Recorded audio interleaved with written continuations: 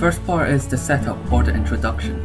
This part of the story is where the audience is introduced to the characters, their relationships, the dynamics, as well as the background of theirs and the setting. It is here an event or a catalyst happens that knocks the natural balance of their world off balance.